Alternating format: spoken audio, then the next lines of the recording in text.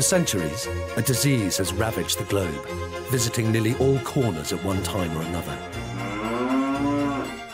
In Europe, so great was the threat of this disease that in the early 18th century, the Pope commissioned one of his most trusted physicians to investigate. Giovanni Lancisi's De Bovilla Peste is his detailed study of the disease and represents the first concerted effort to control it. Historians believe that in 4th century Europe, the cattle disease, rinderpest, may have contributed to the downfall of the Roman Empire. Since then, rinderpest has killed hundreds of millions of cattle worldwide.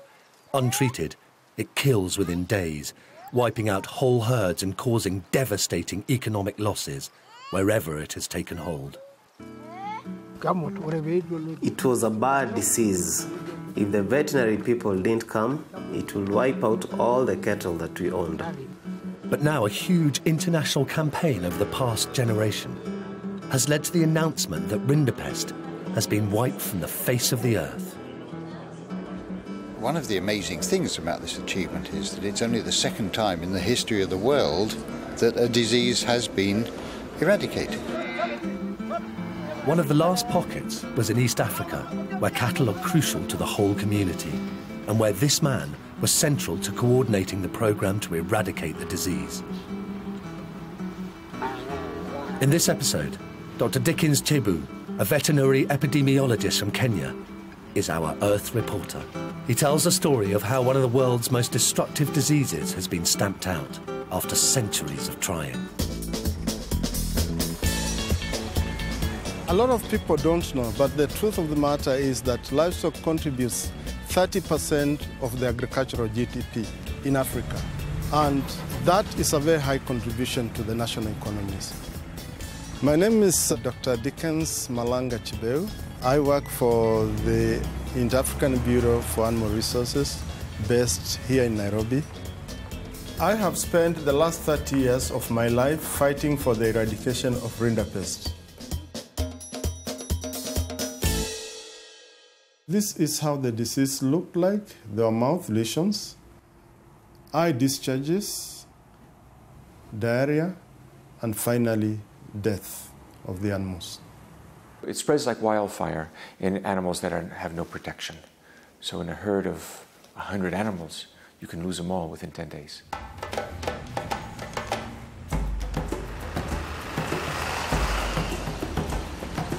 When I was growing up, actually I grew up on a farm. My father was a farmer and in the 60s and 70s, uh, the veterinary department used to come and vaccinate animals during the month of August.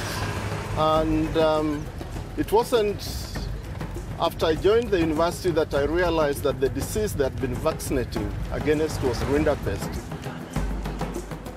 This disease affected many people across the world, mostly pastoralists, people who depend on livestock for their livelihood. Some of my most fulfilling professional experiences have been out in the field searching for rinderpest.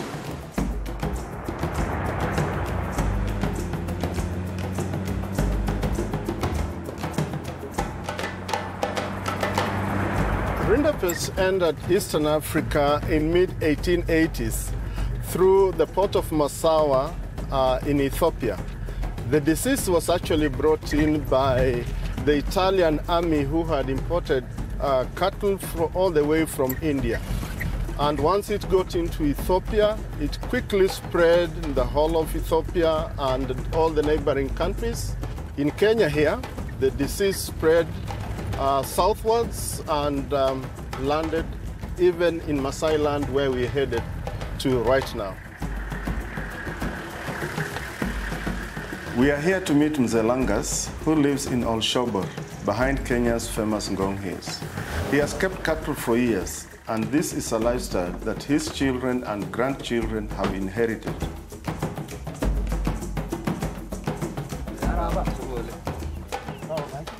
Habari yako? Mzuri, mzuri.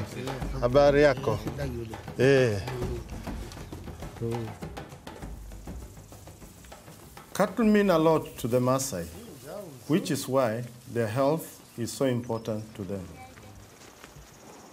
Ah. We slaughter our cows and eat their meat.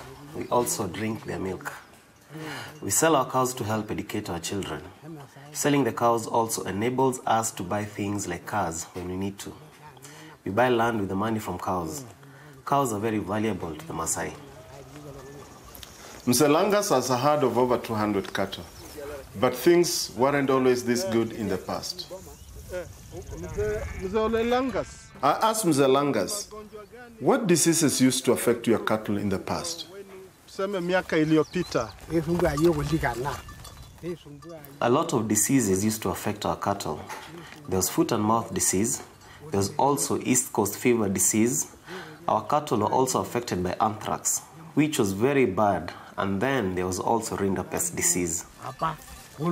Na kwa sasa hiyo unasema That disease called rinderpest, is it still around now or what happened? ama iko namna gani? Rinderpest is no longer there. The veterinary people got rid of it a long time ago. This disease, rinderpest, did it look like this? Please look at these pictures and let me know if this is what it looked like. Yes, this is what the cows looked like. Yes, diarrhea. That's how their mouths looked like. It was bad. If the veterinary people didn't come, it will wipe out all the cattle that we owned. Did you think that this disease would ever be eradicated? We will just wait for the cattle to die. We didn't think it would end. This disease affected the livelihoods and threatened the very existence of communities across the world. A cure had to be found.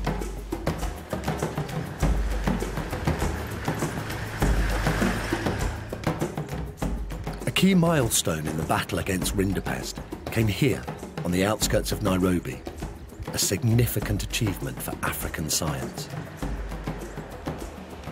The Veterinary Research Institute at Muguga is important in the history of rinderpest. The rinderpest tissue culture vaccine was developed here. Before the development of the vaccines, the only way to control rinderpest for hundreds of years was quarantine and stamping out. But in the 1950s, Walter Plowright, a British researcher based at Muguga, began research on the rinderpest vaccine. The vaccine was known as the Plowright vaccine. It was a giant step forward, but it was to prove only part of the answer. The, the work done by Walter Plowright and collaborator in, here in Muguga really uh, something very important in the uh, rinderpest eradication program. JP15 was the African Union program in collaboration with FAO. The, the key objective was mainly one is to reduce the incidence of the rinderpest in Africa. At the end of JP15, rinderpest was under control.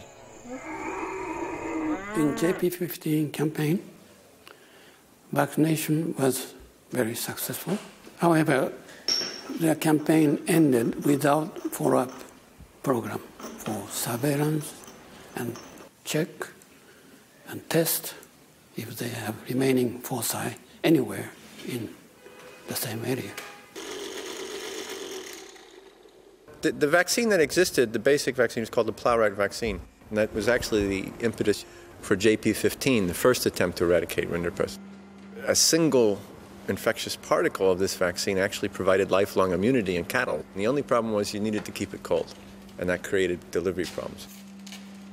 The heat sensitive vaccine could not survive in the hot, remote areas of Somalia, Ethiopia, and northern Kenya in the Somali ecosystem, which had the last remaining reservoirs of the disease.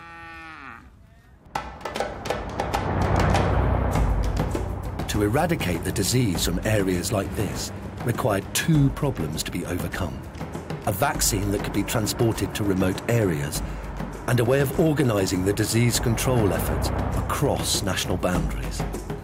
We are now headed to one place in Kenya where cattle is big business. Garissa in northeastern Kenya is home to the country's biggest cattle market. It's a long drive, but it will be worth it.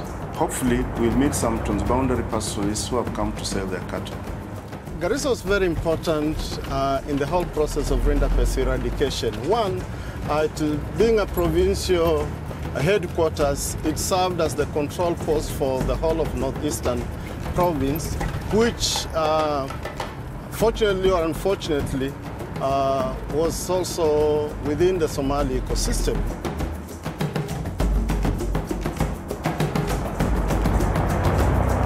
This area that we are entering is where the last pockets of rinderpest were in this whole region. It straddles three different countries and is known as the Somali ecosystem. This livestock market is the largest in the region of the Somali ecosystem. Pastoralists who come here come, come from as far as Somalia in the east, this direction, Ethiopia in the north, and all the neighboring counties uh, in this region, Mandera, Wajir. Transboundary movement of livestock has been going on in this region for centuries. As usual, it's very busy at this market and it can get busy. Sometimes the market has up to 8,000 cattle. We are here to meet Mzee Haji, a transboundary pastoralist who just sold half his cattle this morning.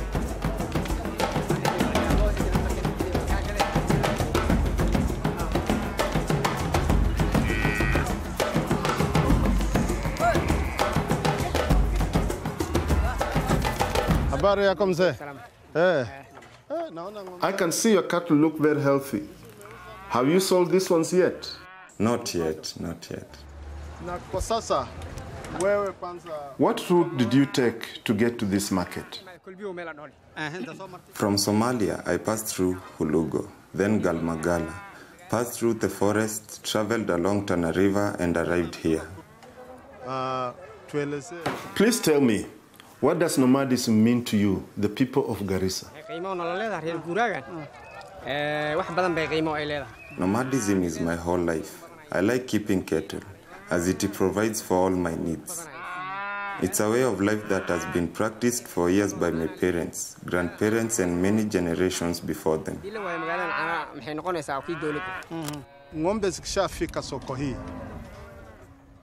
After the cattle reach this market, how do the people here benefit? dhe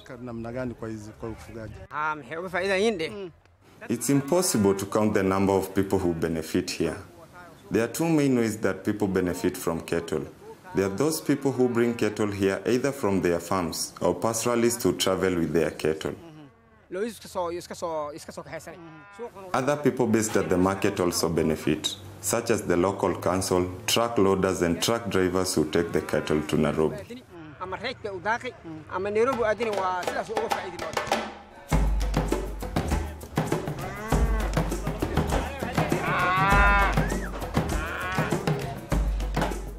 Infectious diseases don't respect boundaries, borders, and so forth. So often, to have a good control program, you have to have international cooperation amongst neighboring countries. Uh, the Rinderpest program was somewhat unique, and one of the real strengths was we managed to generate a tremendous international interest and cooperation. And at, by the end of the campaign, we were actually taking more of an ecosystem approach rather than a national country by country approach. The threat of rinderpest was finally about to disappear for good. But what was the secret? It wasn't just another vaccine, but a new way of organizing the global effort, one with far reaching implications for other diseases, including those affecting other species, including humans.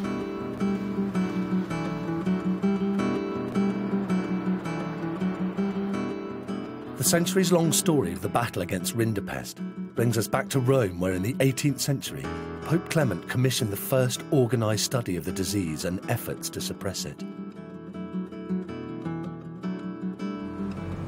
Modern Rome is home to the headquarters of the organisation that has been successful in coordinating the global eradication of a disease that's cost over a billion dollars in the past generation. I have come to Rome with colleagues from around the world as part of the final stages of the Global Rinderpest Eradication Program, which was coordinated from here. I am about to go into a session of top-level people, including government ministers from key countries.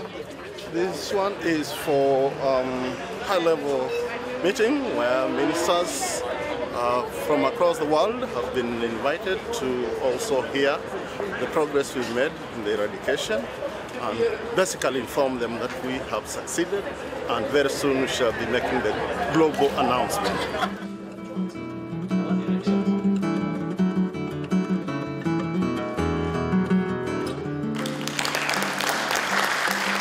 There's an air of jubilation at the moment because you, the Director General has just made a statement which is uh, far from being ambiguous. It's completely unambiguous that FAO considers that uh, rinderpest has been eradicated.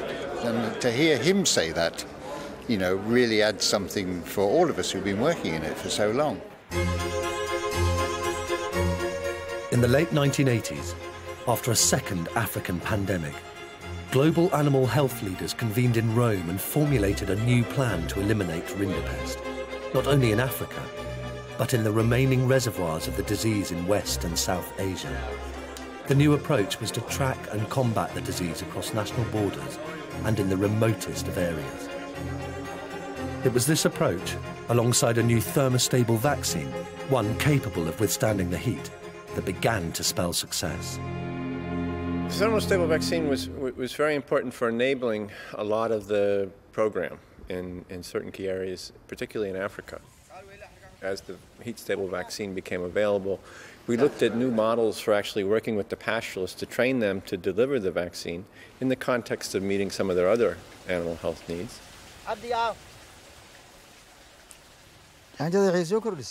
When vaccines came, they were very effective. Isolation of cattle and other control methods were reduced. There's now a lot of movement of livestock looking for pasture, and we sold more cattle. So the vaccines were good. No more quarantine. Trade is okay. Cattle can now move from one place to another without fearing rinderpest.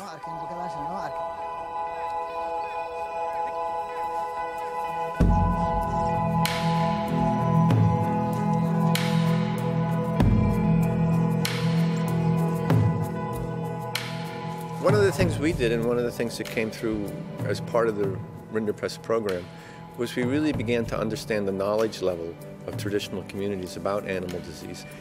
They know all the major diseases, they can describe all the major diseases. You they actually knew better than we did where the disease was. And towards the end, we identified the final foci of rinderpest actually by tapping into these traditional information networks and letting them tell us where we needed to go and how we needed to do things.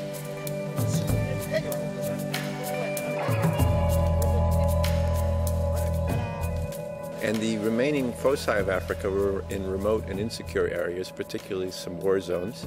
Uh, southern Sudan, uh, which was a long-standing place of insecurity, the Somali ecosystem, and in those areas veterinary services had difficulty entering. So important was the control of rinderpest in Sudan that even the warring factions agreed to allow the vaccinations to continue. During the war, there is an agreement between the government and the RIPOL at that time that vaccination should be carried in, in both areas. The areas under the government control or under the, the, the, and this is, was, was something unique. Declaration of Sudan by OIE free from rinderpest. It was cheer and tears for, for the people in Sudan. They are very happy because Sudan mainly depends on, on, on, on livestock. It is second to oil it produces. We earn about 20% of, of, of national or foreign earning from livestock support.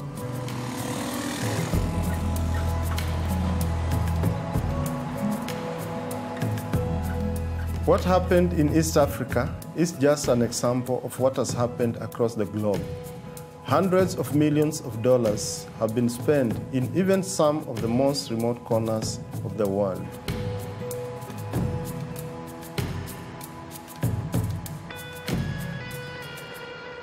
The success of rinderpest eradication in India, I can attribute to one single factor, that is government of India funded the entire program, entire program, and it was a top-down approach. Whatever government of India said, every state followed it. And be, uh, you will be surprised to know that that 10 years of rinderpest eradication, the country was charged. Every veterinarian in this country was determined to see that rinderpest eradicated. When smallpox was eradicated, a sample of the virus was kept. Now, a decision has been taken to store samples of the rinderpest virus for safekeeping. But to avoid any controversy, how will this be done? We have been able to learn quite a bit from the smallpox uh, eradication, not so much in the methodologies that were used, but what's coming to play today with rinderpest is to ensure that the virus is safeguarded in laboratories, that there's proper custodianship of that, what we call sequestration of the virus. In Africa, we as the African Union Inter-African Bureau of Animal Resources have secured the agreement that these viruses be stored at the African Union Pan African Vaccine Center, which is a reference laboratory for vaccine quality control and has facilities that can safely store uh, the viruses. If they're stored in laboratories all over, there's the possibility of accidental escape. In these days of bioterrorism, there's a possibility of malicious release of the agent. So we need to make sure that rinderpest doesn't come back by storing the, the viruses in a safe laboratory.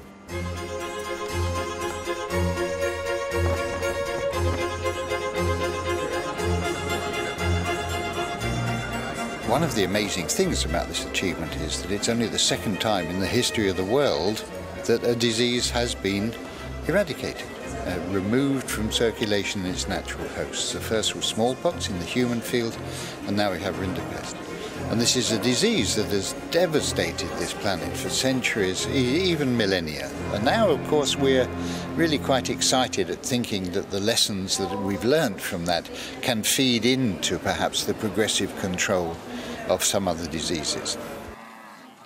I don't think the Green Revolution would have taken place had it not been for the rinderpest vaccine, because those animals were able to plow soil, take the crops to the marketplace. So I think that uh, a lot of people, whether they know it or not, should be gratified that rinderpest has been eradicated. In the veterinary profession, particularly in the countries where we worked, there's a much greater appreciation for the knowledge and wisdom of the livestock owners, and it really takes a team effort to bring together the modern knowledge with the community's knowledge to be successful. Any campaign should have a follow-up program to make sure that the campaign was successful.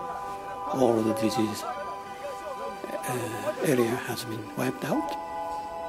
And this was most essential part of the Rinderpest campaign. Well, the major lessons we have learned from the eradication of rinderpest include, first of all, the need for sustained political support and goodwill at all levels, at the national level, at the regional level, and globally. The second lesson that we've learned is the need for partnerships, productive partnerships and collaborations between key technical institutions as well as national governments.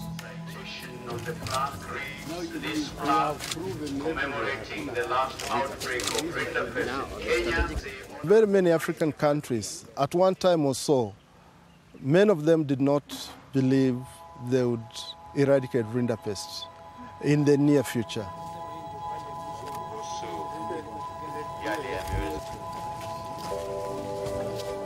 When I saw it finally, you know, eradicated, I feel like I have achieved what I set out to, to achieve professionally.